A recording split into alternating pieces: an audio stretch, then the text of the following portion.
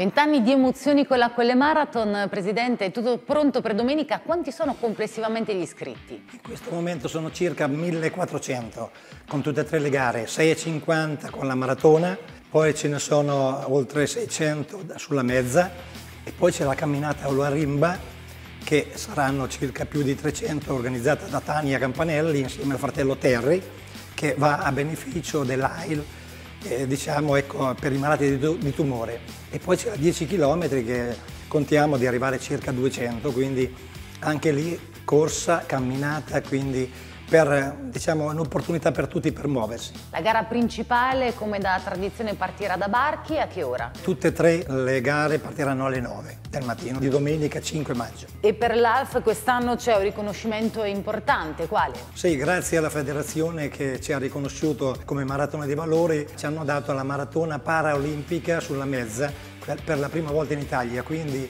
abbiamo mm, veramente qualcosa di importante e vorrei mandare un messaggio a quelli che sono sulle strade di avere ecco, soprattutto rispetto per questa gente che si mette in gioco nonostante ecco, le, le, difficoltà che ha. Noi ci teniamo tanto, eh, erano due obiettivi importanti, la solidarietà e trasmettere ai giovani un, uno sport importante come il nostro, il movimento, ma ogni disciplina è utile per i ragazzi.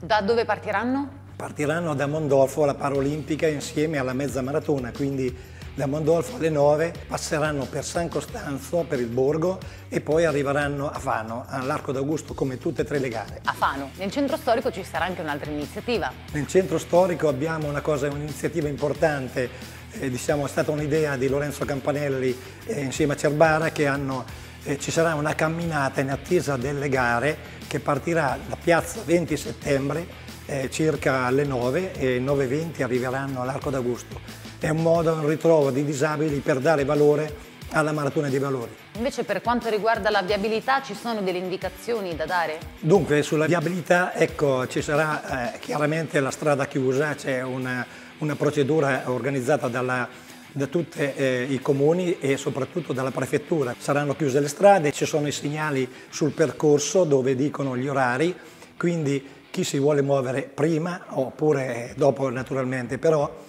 questa è una gara internazionale, abbiamo rispetto. Nelle gare nazionali, come le nostre, è chiuso al traffico completamente. Noi abbiamo rispetto anche per non creare disagi alla gente che cammina, che si vuole muovere, però eh, l'importante è che rispettano gli orari. Quest'anno celebrate il ventennale anche eh, mediante un libro. Quanti sono stati negli anni volontari, anche gli sponsor che vi hanno aiutati? Beh, eh, se siamo arrivati a vent'anni dobbiamo dire grazie a, soprattutto ai volontari, oltre 300 volontari, ma volevo ecco, soffermarmi un attimo a sottolineare che qui c'è un comitato di gente straordinaria eh, di Colle Marathon Club anche, ma 15 gruppi sportivi che ci sostengono da 20 anni.